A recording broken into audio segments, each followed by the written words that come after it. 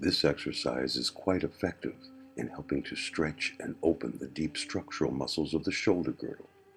The shoulder girdle consists of the shoulders, upper back, chest, and the lower parts of the neck and throat.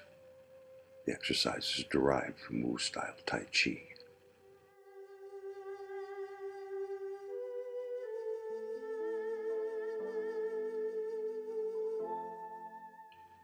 Phase 1, 2, 3, 4, and 5.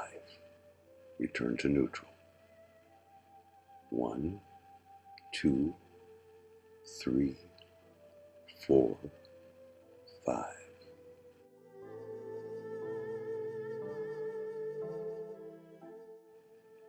One, two, three, four, five.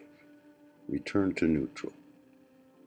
One, stand from the spine, round the back, hollow the chest, hold the ball, take it down, open and close.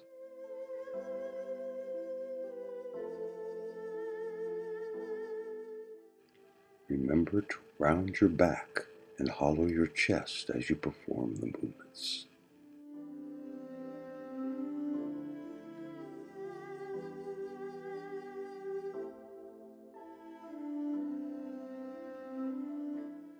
Close, open, open further, open further still, close and open, return to neutral, close, open, open further, further still, close and open.